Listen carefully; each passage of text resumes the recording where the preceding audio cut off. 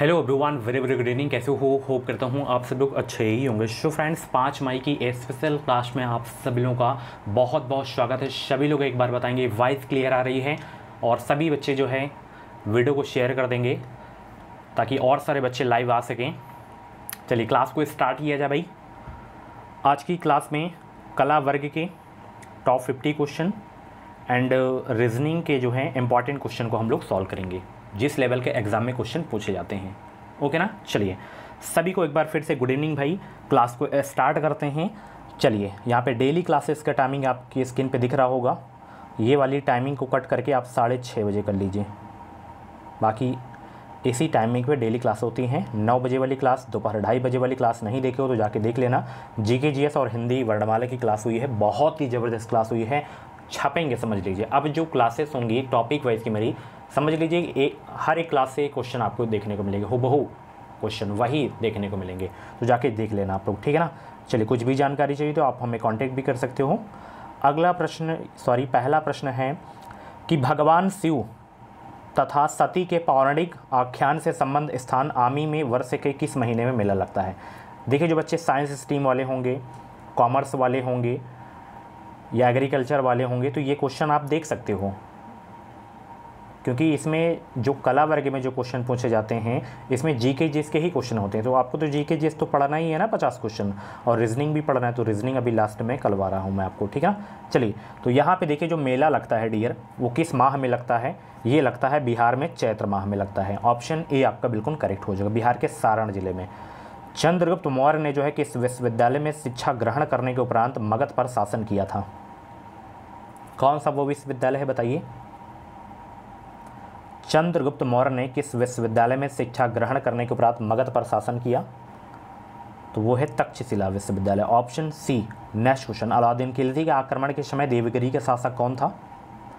अलाउद्दीन खिलजी के आक्रमण के समय देवगिरी का शासक कौन था? तो रामचंद्र जो है, देव था, शासक उस समय। अगला प्रश्न, मद्रास के रैतवाड़ी बंदोबस्त से कौन संबंधित रहा था? मद्रास के रैतवाड़ी बंदोबस्त से कौन संबंधित रहा था? मुनरो ऑप्शन सी आपका बिल्कुल करेक्ट हो जाएगा। वह कौन था जिसने गदर पार्टी को स्थापित किया? सीधे एग्ज़ाम में छपने वाला प्रश्न है वेरी इंपॉर्टेंट क्वेश्चन है। वह कौन था जिसने गदर पार्टी को स्थापित किया?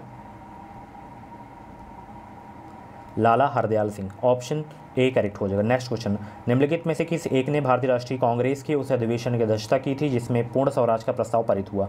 वो कौन थे बताइए। ऑप्शन देख लीजिए क्वेश्चन भी फिर से रिपीट कर लीजिए आप लोग। छप्पन का ऑप्शन बी करेक्ट हो जाएगा जवाहरलाल नेहरू। चलिए, ब्रह्म समाज, रामकृष्ण मिशन और आर समाज में क्या समानता थी? बताइए इन तीनों में क्या समानता थी? तीनों ही राजनीतिक उद्देश्यों के लिए नहीं बने, लेकिन तीनों ने ही देशभक्ति की भावना के विकास में सहायता दी है। तीनों समाज, ब्रह्म समाज, रामकृष्ण मिशन, आर्य समाज तो 57 का ऑप्शन ए आपका बिल्कुल करेक्ट हो जाएगा। निम्नांकित राज्य समूहों में से वह कौन सा है जहाँ यात्री रेल डिब्बों का जो बड़ी मात्रा में निर्माण होता है, वो कहाँ होता है? बताइए। 58 का जवाब दीजिए, फटाफट आंसर करेंगे भाई। और चैनल पे पहली बार हो तो सब्सक्राइब ज़रूर कर लेना। हमारे चैनल से आपको निश्चित ही मदद मिलेगी। वीडियो को लाइक कर देना, शेयर कर देना। तो वो राज्य के समूह जो हैं, पंजाब और तमिलनाडु है। अगला प्रश्न देखिए यहाँ पे। निम्नलिखित राज्यों में से कौन सा है, जहाँ अनुसूचित श्रेणी में कोई जनजाति आबादी नहीं रखी गई है? 59 का आंसर दीजिए। वो है Punjab, option B, next question. Bharat का वह राज्य जो अनाज उत्पादन में अधिकतम अंशदान करता है। अपना ही राज्य है Uttar Pradesh. Option D, next question. निम्नलिखित में से किस गैस की प्रतिशत मात्रा वायुमंडल में सबसे कम है? सिक्सटी वन का जवाब दीजिए। तो यहाँ पे नाइट्रोजन की बात करें तो सेवेंटी एट परसेंट हो जाएगा, ठीक है? एंड यहाँ पे ऑक्सीजन की बात करें तो ट्वेंटी परसेंट, मैं लगभग की बात कर रहा हूँ, नाइन्टी। और यहाँ पे आर्गन की बात करूँ तो आर्गन आपका zero point nine three percent हो जाएगा। और यहाँ पे आपका कार्बन डाइऑक्साइड कार्बन डाइऑक्साइड आपका zero point zero three percent आपका हो जाएगा। तो यहाँ पे सबसे कम कौन होगा बताइए? कार्बन डाइऑक्साइड हुआ। ऑप्शन बी नेक्स्ट क्वेश्चन महाविस्फोटक सिद्धांत संबंधित है किससे? महाविस्फोटक सिद्धांत किससे संबंधित है? ये महाद्वीपी विस्थापन से संबंधित है। ऑप्शन ए आपका बिल्कुल करेक्ट हो जाएगा। निम्नलिखित में से कौन वित्त आयोग द्वारा की गई प्रत्येक संसद की को जो है संसद के प्रत्येक सदन के समक्ष रखवाएगा?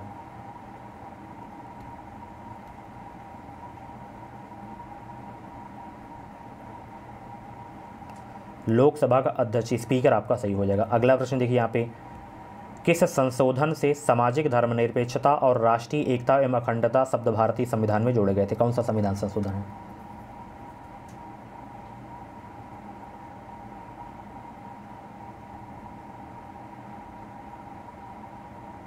चौंसठ का जवाब दीजिए। चौंसठ का जितने भी लोग यहाँ पे जवाब दे रहे हैं, बयालीसवां संविधान संशोधन, उनका आंसर बिल्कुल सही हो जाएगा।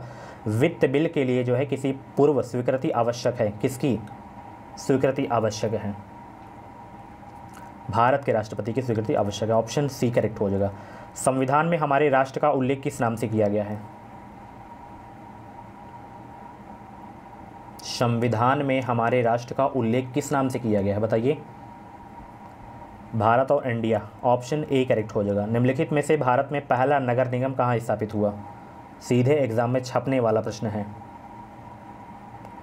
तो भारत में सबसे पहला नगर निगम जो स्थापित हुआ था भाई, मद्रास में हुआ था ऑप्शन बी आपका बिल्कुल करेक्ट हो जाएगा, ठीक है ना?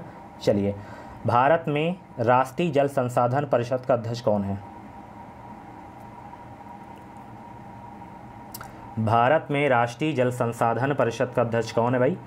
प्रधानमंत्री हैं ऑप्शन ए आपका बिल्कुल करेक्ट हो जाएगा। स्वतंत्र भारत की अर्थव्यवस्था के संदर्भ में निम्नलिखित में से कौन सी एक जो है सर्वप्रथम घटित होने वाली घटना थी?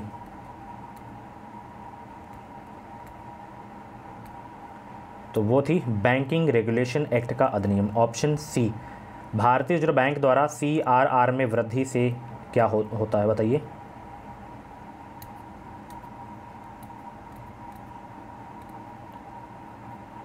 अर्थव्यवस्था में मौद्रिक तरलता में कमी आती है। सत्तर का ऑप्शन बी आपका बिल्कुल करेक्ट हो जाएगा। नेक्स्ट क्वेश्चन आपकी स्क्रीन पे 14 जुलाई 1942 को कांग्रेस कार्य समिति द्वारा भारत छोड़ो आंदोलन का प्रस्ताव कहाँ प्रेरित किया गया था?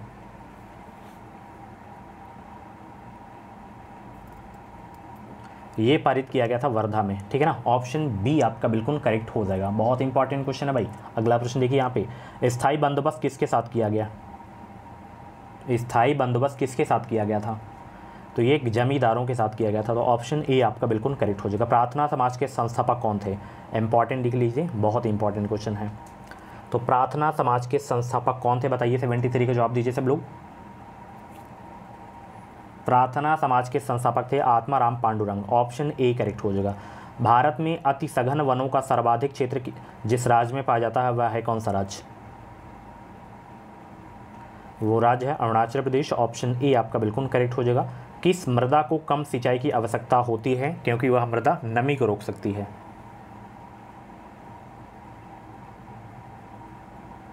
तो वो है काली मृदा ऑप्शन बी आपका बिल्कुल करेक्ट हो जाएगा। मीठे पानी की कल्पसर परियोजना अवस्थित है कहाँ? मीठे पानी की कल्पसर परियोजना अवस्थित है कहाँ? सेवेंटी सिक्स का जवाब दीजिए सब लोग भाई। तो ये है गुजरात में ऑप्शन ए आपका बिल्कुल करेक्ट हो जाएगा। जंगली गधों का अभ्यारण्य कहाँ है? ये बहुत इंपॉर्टेंट क्वेश्चन है। जंगली गधों का अभ्यारण्य कहाँ है? ये गुजरात में है, सतहत्तर का ऑप्शन सी करेक्ट हो जाएगा। फॉन का एक स्थानीय पवन है। फॉन एक जो है स्थानीय पवन है किस देश का? चीन, कोरिया, जापान, स्विट्जरलैंड। तो फॉन एक स्थानीय पवन है स्विट्जरलैंड की भाई। ऑप्शन डी आपका बिल्कुल करेक्ट हो जाएगा। भारतीय संविधान में मूल अधिकारों का विचार लिया गया है। कहाँ के संविधान से बताइए? भारतीय संविधान में मूल अधिकारों का विचार लिया गया है कहाँ से? तो ये लिया गया है अमेरिका के संविधान से। ऑप्शन डी आपका बिल्कुल करेक्ट हो जाएगा। वीडियो को लाइक करो सभी लोग। लाइक करो सभी लोग फटाफट। लाइक करने का कोई भी पैसा नहीं मिलता, बस अंदर से मोटिवेशन मिलता है और ताकि और भी बच्चों के पास ये वीडियो जाता है। इंगेज इंगेजिंग होती है। भारत में वित्तीय आपातकाल की घोषणा आज तक कितनी बार की गई है? चार बार, पाँच बार, एक बार या कभी नहीं। तो वित्तीय आपातकाल की घोषणा आज तक कभी नहीं की गई है तो ऑप्शन डी आपका बिल्कुल करेक्ट हो जाएगा। भारतीय कृषि में निम्न उत्पादक का कारण क्या है? भारतीय कृषि में निम्न उत्पादकता का कारण है क्या? आवश्यकता से अधिक लोगों का कृषि कार्यों में लगा रहना, जोत का छोटा आकार, उत्पादन की पिछड़ी तकनीक तो उपयुक्त सभी आपके सही हो जाएँगे। अगला प्रश्न देखिए यहाँ पे, भारत में नियोजित अर्थव्यवस्था आधारित है किस पर? भारत में नियोजित अर्थव्यवस्था आधारित है किस पर?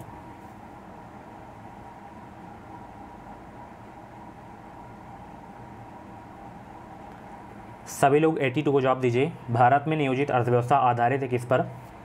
मिश्रित अर्थव्यवस्था पर आधारित है भाई। ऑप्शन डी आपका बिल्कुल करेक्ट हो जाएगा। पीली क्रांति संबंधित है किस उत्पादन से, बताइए। पीली क्रांति का संबंध किससे है? पीली क्रांति संबंधित है किस उत्पादन से? तो पीली क्रांति का संबंध जो होता है, वो किससे होता है, बताइए सब लोग।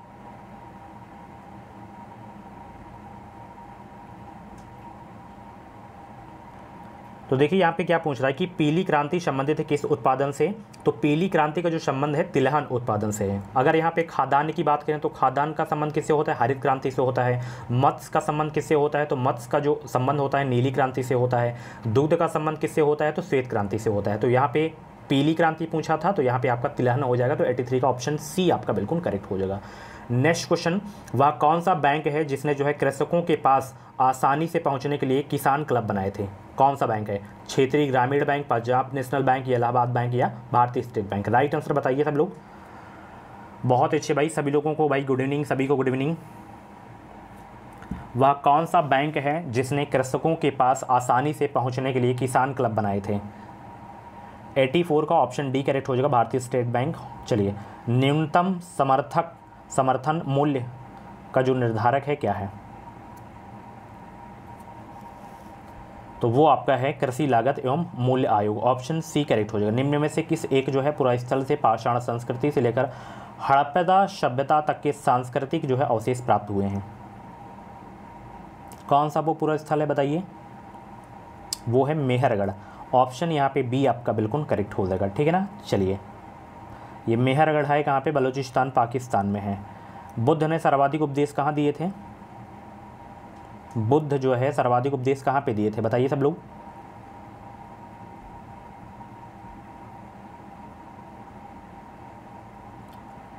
चलिए लाइक की संख्या बहुत ही कम है तो फटाफट वीडियो को लाइक कर दो सब लोग, और चैनल पे पहली बार आओ तो सब्सक्राइब ज़रूर कर लेना।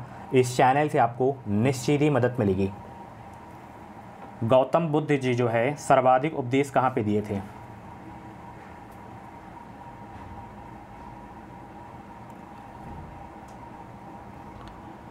तो यहाँ पे पूछा जा रहा है कि गौतम बुद्ध जी जो है सर्वाधिक उपदेश कहाँ पे दिए थे? ये सरबस्ती में दिए थे। क्यों दिए थे? क्योंकि जब ये उपदेश दे रहे थे सरबस्ती में तो उस समय वहाँ पे वर्षा हो रही थी। वर्षा रुकी ही नहीं रही थी। इस वजह से सर्वाधिक उपदेश दिए थे, ठीक है ना? और इनका जन्म लुम्बने में हुआ था और ये अपना जो पहला उपदेश दिए थे, ये सबसे पहला उपदेश सारनाथ में दिए थे। उनके ज्ञान की प्राप्ति जो हुई थी, बोध गया में हुई थी, ठीक है ना? और महापरिनिर्वाण की प्राप्ति जो हुई थी, कुशीनगर में हुई थी, ठीक है ना? इतना चीज़ें आपको पता होना चाहिए गौतम बुद्ध जी के बारे में। अगला प्रश्न देखिए। पहला गुप्त शासक जिसने सिक्के जारी किए थे। पहला गुप्त शासक जिसने सिक्के जारी किए थे। तो वो था भाई चंद्रगुप्त प्रथम। Option B, next question. निम्नलिखित में से भारतीय राष्ट्रीय कांग्रेस के किस अधिवेशन में महात्मा गांधी ने कहा था कि गांधी मर सकते हैं, परंतु गांधी गांधीवाद सदैव बना रहेगा? तो कौन सा अधिवेशन है? एटी नाइन का जवाब दीजिए सब लोग। तो कराची अधिवेशन आपका सही हो जाएगा। कराची अधिवेशन। नेक्स्ट क्वेश्चन देखिए। महात्मा गांधी धरसना नमक गोदाम पर कांग्रेस कार्यकर्ताओं के धावे के समय कहाँ थे? कहाँ थे भाई, बताइए सब लोग। येरवदा जेल में थे। Option A, next question. Congress ने स्वराज प्रस्ताव वर्ष 1905 में पारित किया। प्रस्ताव को उद्देश्य था क्या? तो इसका उद्देश्य था क्या भाई, बताइए। स्वशासन सुनिश्चित करना था इसका उद्देश्य। ऑप्शन बी, आपका बिल्कुल करेक्ट हो जाएगा। भारत में प्रथम तीन विश्वविद्यालय, कलकत्ता, मद्रास बम्बई की स्थापना किस वर्ष में हुई थी? ये तीनों विश्वविद्यालय की स्थापना किस वर्ष में हुई थी, बताइए। तीनों की स्थापना आठ में हुई थी। अगला प्रश्न देखिए। काहिरा का समय ग्रीनविच से दो घंटा आगे है, अतः यह स्थित है किस पर?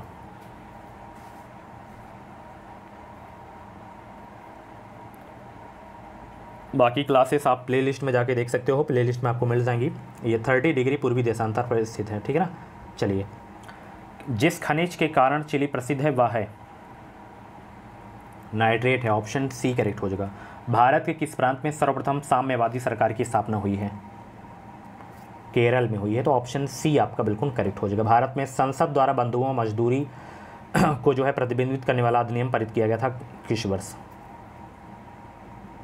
ये किया गया था पंद्रह सॉरी उन्नीस सौ छिहत्तर में। ऑप्शन बी करेक्ट हो जाएगा।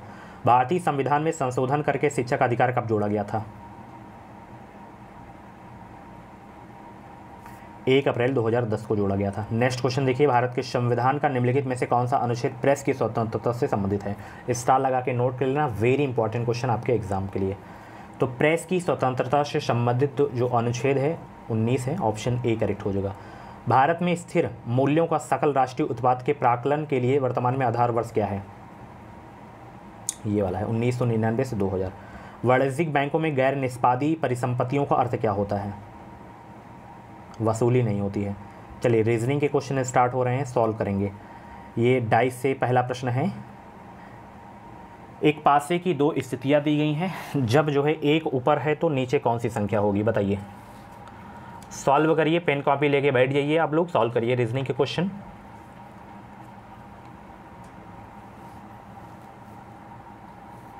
तो देखिए यहाँ पे चार और छः ये दोनों आपके कॉमन हैं। ठीक है ना? तो एक का क्या हो जाएगा? पाँच हो जाएगा। तो ऑप्शन यहाँ पे आपका जो है बी वाला बिल्कुल करेक्ट हो जाएगा। चार तथा छः क्या है? दोनों उभयनिष्ठ हैं। ठीक है ना? तो यहाँ पे केवल एक बचा और ये इस वाले पासे में केवल पाँच बचा तो एक का अपोजिट क्या हो जाएगा? पाँच हो जाएगा। ठीक है? चलिए। निम्न में से कौन सी आकृति संगीतकारों, वाद्यकारों और वायलिन बजाने वालों को प्रदर्शित करती है? कौन सी आकृति है वो?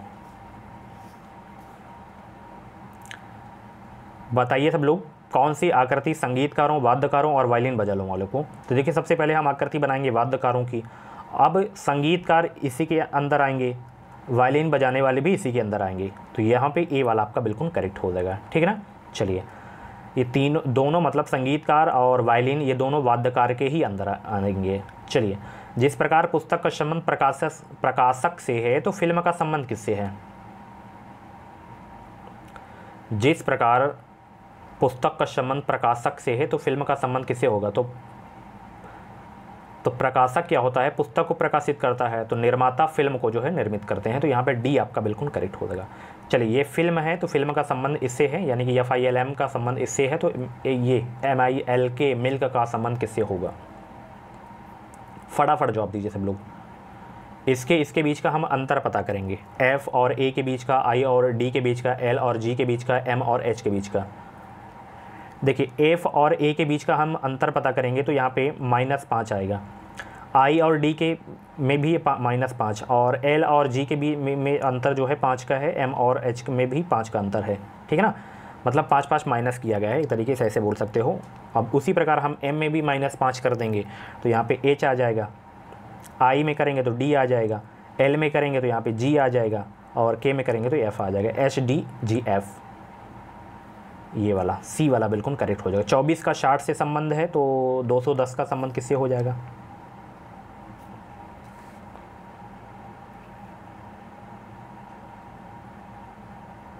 तो यहाँ पे 24 कैसे आया 60 कैसे आया 210 कैसे आया तो तभी आप यहाँ पे पता कर पाएँगे। तो 24 देखिए, तीन का क्यूब है। देखिए, तीन का क्यूब करके माइनस तीन कर दिया गया। मतलब तीन का क्यूब कितना होता है? सत्ताईस होता है, सत्ताईस में तीन माइनस कर दिया गया तो यहाँ पे चौबीस आ गया।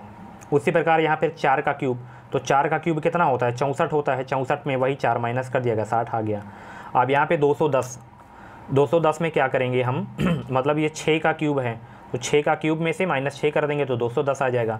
अब यहाँ पे छः के बाद हम सात का क्यूब करेंगे, सात का क्यूब में से सात ही माइनस कर देंगे तो यहाँ पे क्या आ जाएगा? सात आ जाएगा। मतलब माइनस करेंगे तो यहाँ पे 336 आ जाएगा। क्या आ जाएगा? 336 ठीक है ना? चलिए। निम्नलिखित में से उसे चुनिए जो अन्य तीन से भिन्न है। फटाफट आंसर देने का प्रयास करेंगे और वीडियो को लाइक कर दो यार सभी लोग। अपराध तथा आरोप एक दूसरे के समानार्थी हैं तो बाकी जैसे आपका विपरीतार्थ हो जाएगा, विपरीतार्थक हो जाएगा तो यही आपका मतलब सही है। चलिए। इसमें से विषम कौन सा है? बताइए चारों में से। इनके इनके बीच का मतलब डिफरेंट पता करिए। तीन में सेम होगा, एक में अलग होगा।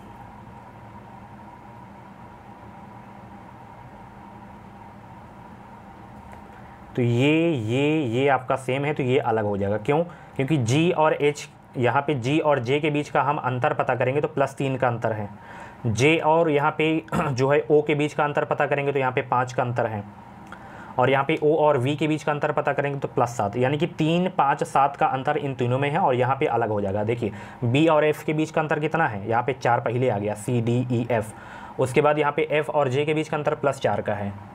जे और क्यू के बीच का अंतर सात का है तो ये आपका अलग हो गया। चौदह चौदह, उन्नीस, सत्रह, अठारह, बयालीस, तीन और इक्कीस, सोलह में से अलग कौन सा है? विषम कौन सा है? ये आपको बताना है।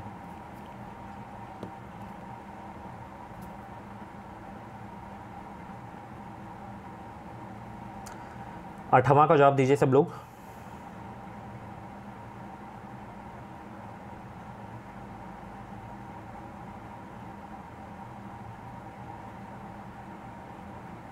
यहाँ पे आपका ये वाला विषम हो जाएगा, ठीक है? चलिए। दिए गए चार वैकल्पिक समुच्चयों में से वह संख्या समूह छाटिए, जो प्रश्न में दिए गए संख्या समूह से सर्वाधिक मेल खाता हो। जैसे दिया गया सेट, ये वाला, दो, चौदह, सोलह। ये दो, चौदह, सोलह है ना? तो इससे कौन सा मतलब बिल्कुल इसी तरीके से जो है संबंध रखता है, ये आपको बताना है। जो सर्वाधिक मेल खाता हो इसमें। नाइन का जवाब दीजिए सब लोग भाई। तो यहाँ पे दो और चौदह और चौदह और सोलह में जैसे दो और चौदह के बीच का अंतर कितना है? बारह का है, चौदह और सोलह के बीच का अंतर कितना है? दो का अंतर है। तो उसी प्रकार यहाँ पे देखेंगे ये वाले में, चार और सोलह में कितना है? बारह और सोलह और दो में दो। तो चार दो इसमें भी अंतर है मतलब बारह और चार का। तो यही आपका सही हो जाएगा। नीचे एक अनुक्रम दिया गया है जिसमें एक पद लुप्त है तो लुप्त पद को आपको छांटना है, सीरीज़ का ये क्वेश्चन है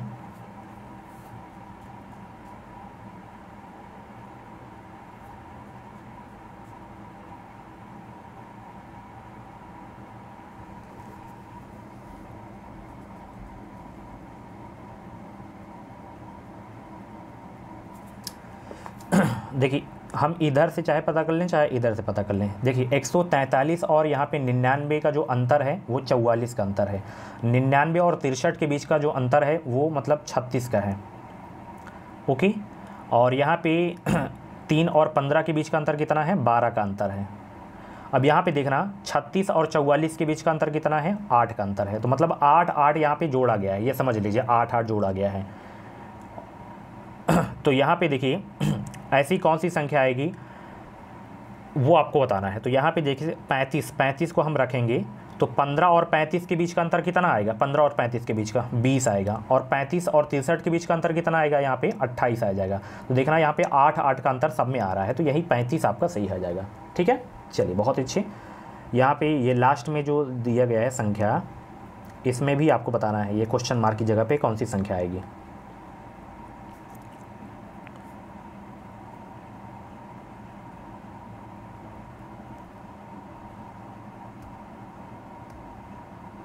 बिल्कुल सरल प्रश्न है, बिल्कुल सरल प्रश्न। इससे सरल प्रश्न पूरी क्लास में देखने को नहीं मिलेगा।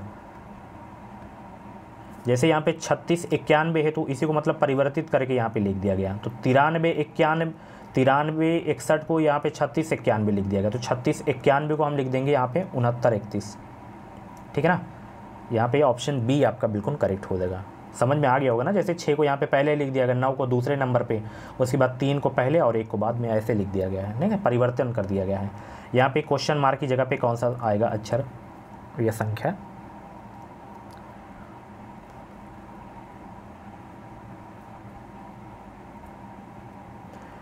नौ, तीन, बारह बारह छः अठारह। तीन तीन ऐड किया जा रहा है तो छः में हम तीन ऐड करेंगे तो नौ आ जाएगा तो अठारह नौ कितना हो जाएगा? सत्ताईस हो जाएगा तो डी आपका बिल्कुल करेक्ट हो जाएगा। चलिए, यहाँ पे क्वेश्चन मार्क की जगह पे कौन सा जो है संख्या आएगा? फटाफट आंसर करिए भाई सब लोग। देखिए, यहाँ पे चालीस तीस कैसे आया, ये पता पहले करना पड़ेगा आपको। पाँच दूनी दस दस अट्ठे अस्सी। अस्सी आ गया ना? अस्सी को दो से यहाँ पे डिवाइड कर दिया गया, चालीस आ गया। पाँच छः को बीस बीस तेईस साठ। साठ को यहाँ पे दो से डिवाइड करेंगे तो यहाँ पे कितना आएगा? साठ तीस निकल के आ जाएगा। दो एक कम दो, दस दूनी बीस। बीस को दो से डिवाइड करेंगे तो दस निकल के आ जाएगा। चलिए। एक कूट भाषा में इसको जो है ऐसे लिखा जाता है तो इसको ऐसे लिखा जाता है तो एस को कैसे लिखा जाएगा?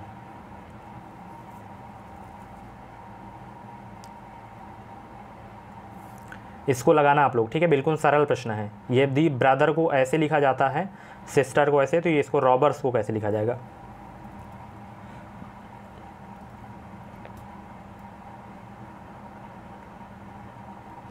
देखिए, चौदह का बहुत सारे लोग सी जवाब दे रहे हैं तो उनका आंसर बिल्कुल सही है, ठीक है ना? चलिए, बहुत अच्छे ऐसे ही आप लोग जवाब दिया करो।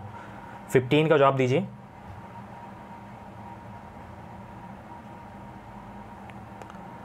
रॉबर्स को किस संख्या में लिखेंगे? इसी में से आपको बताना, जैसे आर है ना तो आर का कोड यहाँ पे क्या है? लास्ट में चार है तो चार हो जाएगा। तो उसी प्रकार आपको यहाँ पे पता कर लेना ओ का पता कर लेना बी का पता कर लेना है। तो यहाँ पे पंद्रह का जो ऑप्शन सही होगा डी वाला सही हो जाएगा, ठीक है? बिल्कुल नॉर्मल क्वेश्चन है। सो फ्रेंड्स ये थी आज की जो है क्लास पाँच मई की क्लास कैसी रही? क्लास कमेंट बॉक्स में अपना फीडबैक ज़रूर देना। ऐसी ही डेली क्लासेस देखने के लिए अभी कभी इस चैनल को सब्सक्राइब कर लीजिए। डियर इस चैनल से आपको निश्चित ही मदद मिलेगी। चलिए थैंक यू सो मच इतनी मेहनत के लिए एक लाइक बनती है लाइक कर देना शेयर कर देना और डेली क्लासेस देखने के लिए भाई बेल आइकन को ऑल पे ज़रूर से ज़रूर प्रेस कर लेना सब्सक्राइब करके। कुछ भी जानकारी चाहिए तो आप कमेंट बॉक्स में अपना डाउट क्लियर कर सकते हो। चलिए थैंक यू सो मच इसकी पीडीएफ आपको टेलीग्राम पे मिल जाएगी और भी रीजनिंग की क्वेश्चन मैं वहाँ पे सेंड कर दूँगा ताकि आप अपनी अच्छी से प्रैक्टिस कर लेना।